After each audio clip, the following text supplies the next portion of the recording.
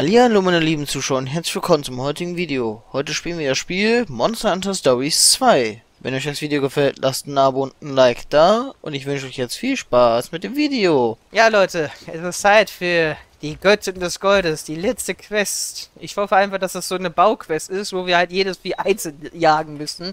Dann haben wir es nämlich leichter, weil wir dann die Ausrüstung anpassen können und ihr seht dann höchstwahrscheinlich auch nur den Kulvertaroff.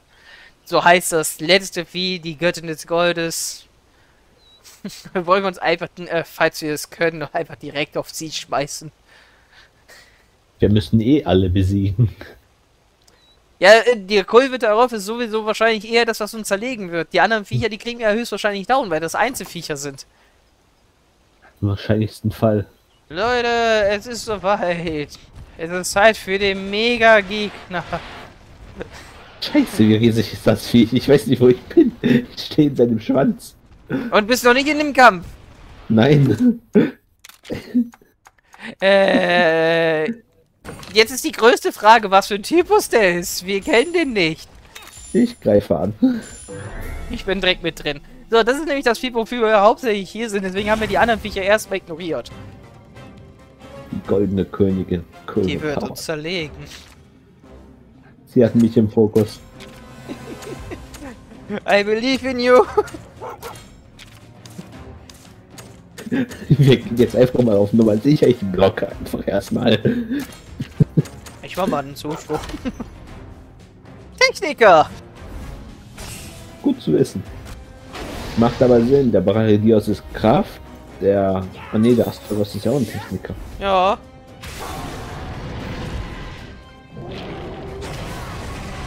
Gut, dass du geblockt hast. Ich glaube, das hätte gezogen. Mhm. Kommt es, dass er mit dem riesen Ding nur dich trifft? Weil da wir ja wissen, dass er ein Techniker ist, springe ich jetzt mal auf meinen Rafa. Los, Brachi! Linkes wir werden Bein heute sehr viele Rocky-Sequenzen sehen. Wie die Teile einfach linkes Bein, rechtes Bein und der Schwanz sind. Als ob, ey. äh, ich denke mal, der kippt um, wenn wir den Schwanz brechen. Keine Ahnung, ich habe jetzt auf irgendwas draufgehauen. Ich habe direkt zum Hammer mal gewechselt. Wir wissen halt nicht, was für ein Typus der ist. Wir haben den beide noch nie gesehen.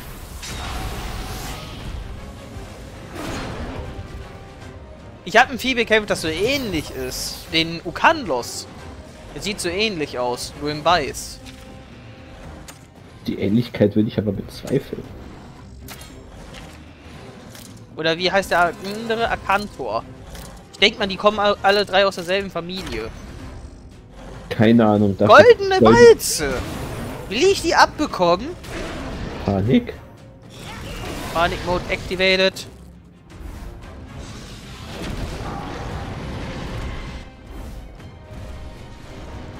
Der ist über uns drüber gerollt. Das hat mich jetzt so ein bisschen an den Angriff vom Ludroth erinnert. Vielleicht ist ja davon die Endversion. Große Papa der Ludroffe. Macht eine feurige Aura, die brauchen wir gerade am dringendsten.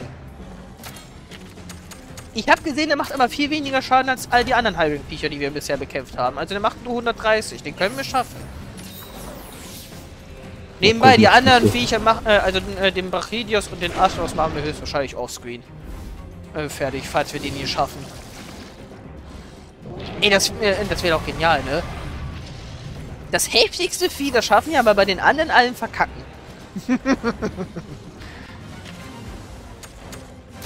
Weil das hier ist ein Drachen, ey. Das, der ist 100 Pro der heftigste von den drei.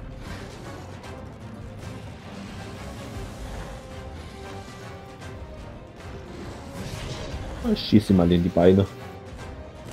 Ich hau die ganze Zeit mit dem Hammer. Oh. Bei dem ist offenbar alles effektiv. Nur dem. genau die falsche Waffe.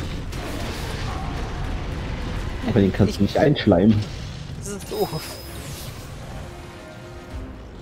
Schleim ist etwas, das wir gut gebrauchen könnten. Ich kann ja direkt noch das, äh, äh, den Test auf Example machen und mal gucken, ob er im Normalfall auch gegen Hammer schwach ist. Dann wissen wir, Hammer ist auf jeden Fall die nützlichste Waffe gegen den. Gehe ich auf die Bindungsfähigkeit? Ja, ich gehe auf die Bindungsfähigkeit. Ich gucke jetzt einfach mal, wie viel Schaden ich auf das Bein mache. Das ist eine gute Idee, der macht nämlich die Walze. Das ist schön. Der Himmelhochfall.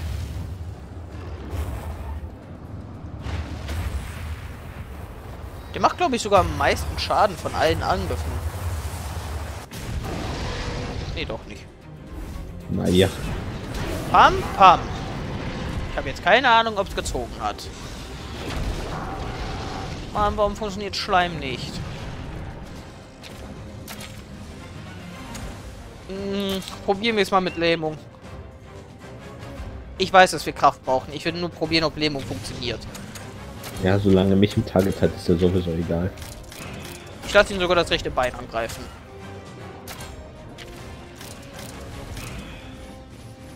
Bleib mal beim Hammer, ne? Der ist ja eh gegen Hammer schwach und du hast ja eh schon den Bogen draußen. Ich mache jetzt einfach die Liste mit dem Bogen fertig und danach wechsle ich auf etwas, was effektiver ist. Ja, Hammer, weil man damit gut Körperteile brechen kann. Oh, der Schweif ist gegen alles schwach. Komm, bitte, bitte. Schade. Aber er ist doch noch schwach. Das ist schon mal eine Information, die gut ist. Er ist Jetzt ist sauer. Jetzt habe ich Angst. Ich weiß nicht mehr, was, was muss ich nutzen? Eben war er Techniker. Jetzt ist er sauer, er ist bestimmt ein Krafttyp. Also mein Astolos macht das schon mal richtig. Ich würde auch davon ausgehen, dass er jetzt ein Kraftnutzer ist. Und selbst wenn nicht, ist er ein Geschwindigkeitsnutzer und dann prallen wir halt einfach nur gegeneinander. Äh, Ich, äh, Hundi! Ich bezweifle, dass das Viech auf Geschwindigkeit geht. so fett es ist. Nie im Leben wird der ein Geschwindigkeitstyp. Vorher fress ich ein Besen.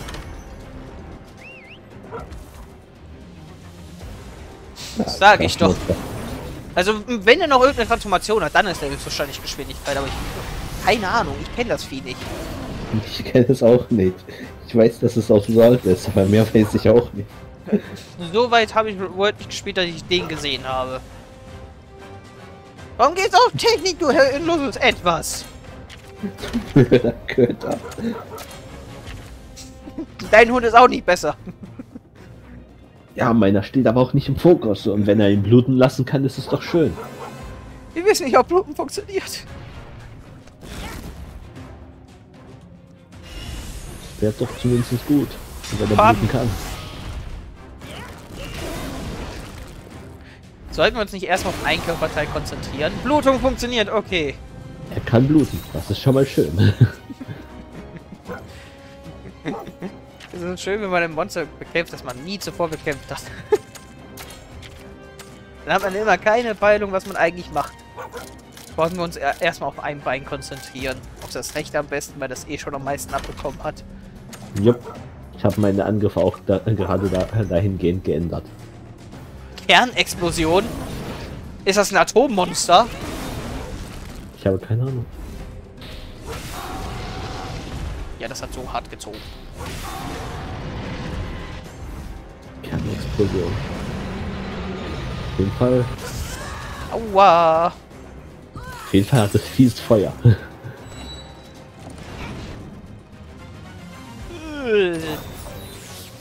Es hat Was alle verbrannt. Aber gut, dass dein Hund sich noch mitteilt. Du hast Lebensstaub, ne? Nein, ich habe keinen Lebensstaub mehr. Dann Ich nutze ich Pulver. Lebenspulver. Haben wir denn nichts, das alle gleichzeitig mal heilen könnte? Von diesen Statusen. Anscheinend nicht nein. Lebenspulver, go. Wieso ist mein Punkt wieder weggegangen? Ach so, weil ich gestorben bin.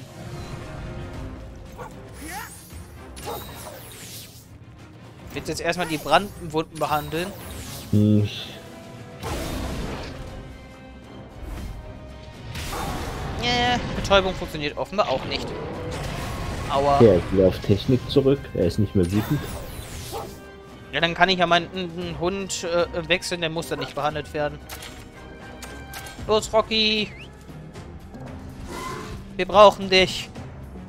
Brother, du bist dran. Okay, er hat mich nicht im Fokus. Verbleibende Zeit 10 Minuten. Wir würden die anderen Viecher eh nicht schaffen in der Zeit. Nein, Die Frage ist, ob wir den überhaupt in der Zeit schaffen. Wir sind halt instant auf den zu, ne? Ja. Wir haben doch keine 20 Minuten gebraucht, um den zu finden, oder? Obwohl, wir Nee. mussten einen Gravius unterwegs bekämpfen. Der hat schon ein bisschen Zeit gekostet. Weil der in mich reingerannt ist. Wir hatten 10 Minuten, als äh, etwas mehr als 10 Minuten hatten wir, nachdem wir in den Kampf mit dem Pulver gegangen sind. 10 Minuten sind rum, ja, würde hinhauen. So, Zeit für den Brachischlag der Vernichtung. All das Training wird dir jetzt ins Gesicht geschlagen. Die Aber Wut diese auf Sek- Naviro. Sequenz überspringen könnte. Ey, sie ist göttlich. ich find's halt so geil, wie sauer der auf Naviro ist, weil er ihn mit einer Banane bewirft. Eben, er, man, Man sieht die Wut ihm an. okay, man kann ihm Sprengschaden zufügen. Er scheint nur eine sehr hohe Resistenz zu haben. Das ist selten funktioniert. Wie gesagt, es ist eine Prozentchance. Das habe ich ja schon bei einem Part mal erwähnt. Mal gucken, ob man ihn vergiften kann. Wasser, Giftschlag. Wir haben noch nicht mal einen Teil gebrochen.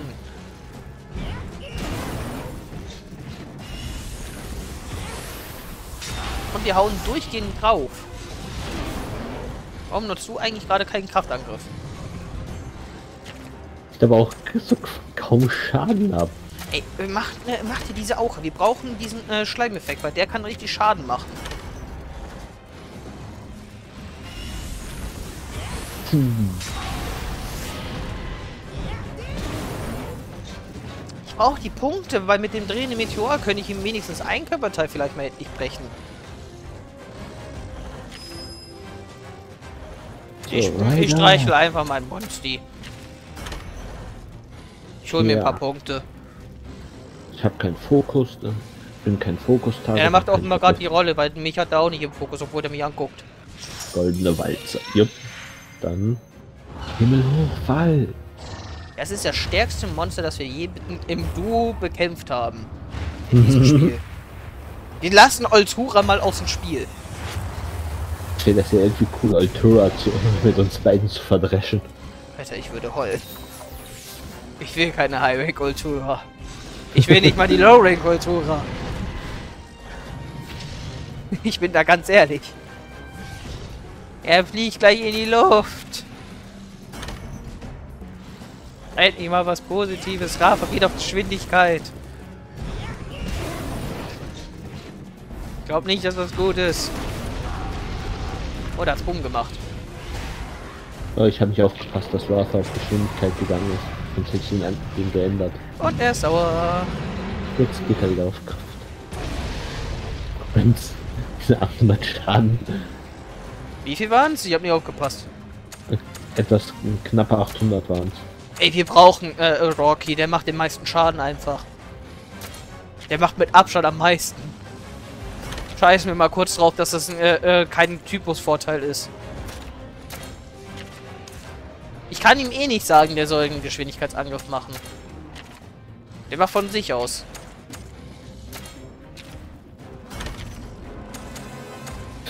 Ich versuche einfach nochmal Blutungsschaden zu verteilen. Warte mal, anfeuern. Vielleicht funktioniert dann sein äh, Schmarrn ein bisschen besser.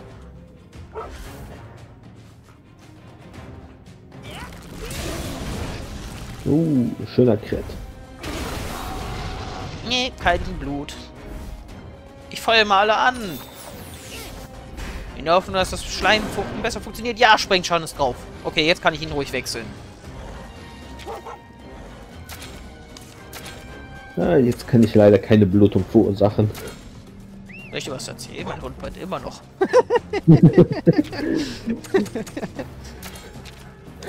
Mach. Statusschläger, du blödes Vieh.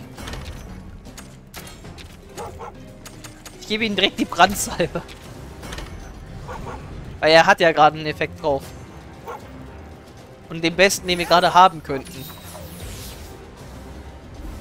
Wir müssen ihn eigentlich durchgehend diesen Explosivschaden irgendwie drauf behalten. Dass er immer und immer wieder 800 abbekommt. Genau deswegen. Der wird die ganze Folge, Leute. Ihr seht die anderen Viecher nicht. Wir hätten das eh nicht in der Zeit geschafft.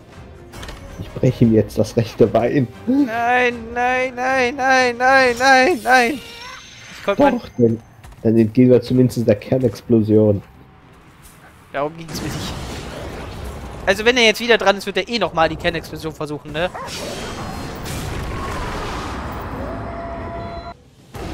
Wir haben was gebrochen. Wer hätte gedacht? Das funktioniert nicht, Hundi.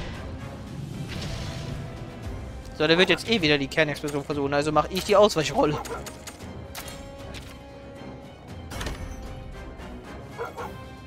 Einfach irgendein Vieh nehmen, das gegen Feuer gut ist und dann einfach auch die Ausweichrolle machen, ne? Ich habe nicht genug Energie für das kritische Auge. Nee, ich würde eher hier absolutes Ausweichen nutzen, damit du wenigstens nicht verbrannt wirst. Ich auf den Hammer, ich muss auf den Hammer wechseln. Das habe ich auf dem Schwert nicht. Ich glaube, wir sollten generell beide auf Hammer gehen. Wegen dem Meteorschlag halt. Das macht so immens Schaden. Ja, ausweichen. Ausweichen ist gute Idee.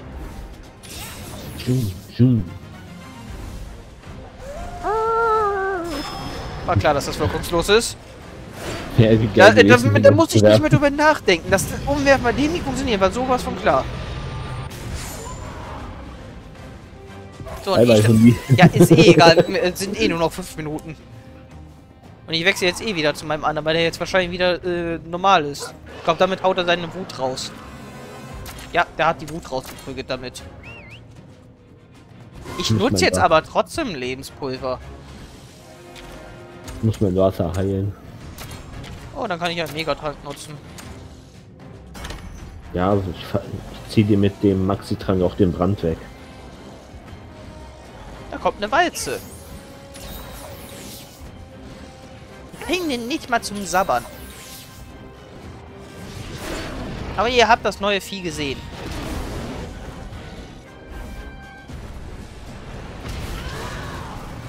Hätten wir uns ausschn äh, wirklich anständig mit äh, High-Rank-Rüstung ausgestattet, hätten wir den wahrscheinlich auch down gekriegt. Aber wir wollten ja auch mal langsam fertig werden. Du mach deine Aura. Und ich mach das Sinnvollste, was geht.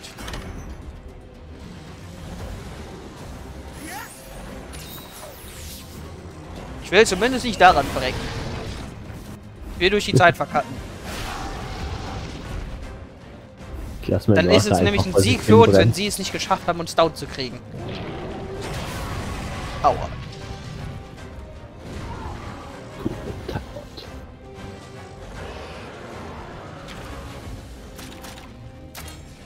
Los, drauf! Ich gönn mir so lange mein Muskelfleisch. Weil der die Weize macht. Ich wäre sonst tot.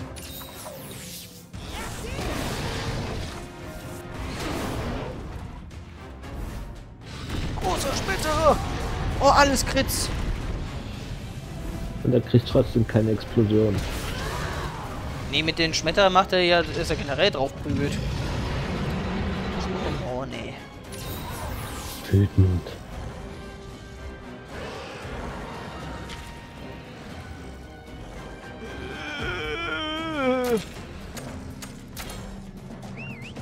Den kriegen wir nicht down. Nee, ich glaube auch nicht, aber wir können zumindest einfach weiterkämpfen. Wir geben nicht auf. Ich frage mich, bei welchen Körperteil er umgekippt wäre. Ich glaube, einen wirklich beim Schweif. Wenn er überhaupt umkippt. Oder wir müssten beide Beine brechen. Pam.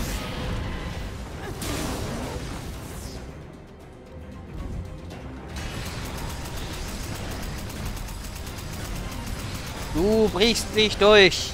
Das ist ein moralischer Sieg für uns. Du kannst nicht vorbei. Wenn wir an Zeit verlieren, dann ist es ein moralischer Sieg. Aus meiner Sicht. Weil er hat es dann nicht geschafft, uns äh, zu töten.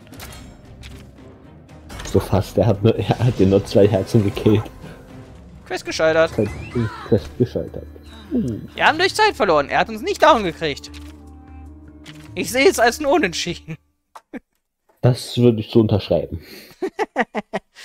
Ja, Leute, das war Monster Hunter Stories 2. Das war die letzte Quest, die wir hier zu machen. War doch ein interessantes Ende, dieses Kulbetarov-Vieh.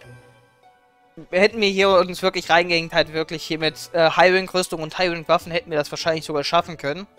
Aber wir hätten damit erstens bis Level 60 wahrscheinlich trainieren müssen, worauf wir beide wahrscheinlich keine Lust haben. und wir hätten auch äh, so hart grinden müssen, was die Waffen angeht. Da hätten wir einfach keine Lust drauf gehabt, Leute. Sage ich, wie es ist. Deswegen beenden wir hier jetzt dieses Projekt. Wir hatten noch ein grandioses Finale. Es war keine Ortula, zum Glück. Stell dir mal vor, das wäre so eine Subspezies von der Ortula gewesen. Dann hätte ich geweint. Ja. Wir verabschieden uns hier. Und wir sehen uns dann demnächst bei Monster Hunter Rise Sunbreak wieder, was Monster Hunter angeht. Weil da, da freuen wir uns schon drauf, ne? Ja. Und da werden wir dann nicht mehr verkacken. Und die erste Mission, die wir machen, ist noch, wir nehmen Rache am Wildstrucks. Hat der Kollege, der dann mm, zusätzlich da auch mitmachen wird, auch schon gesagt. Bis dann. Tschüss.